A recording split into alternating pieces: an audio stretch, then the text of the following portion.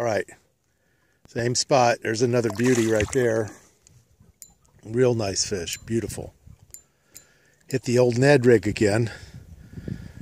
And the Ned rig, you don't really do much with it. You just sit there, throw it out, and let it sit there and do its thing. Ooh, that's a real nice fish. Let's get him in the boat. Come over here, big guy. Yeah, there you go. Ooh, nice one. Let's see what he measures over here.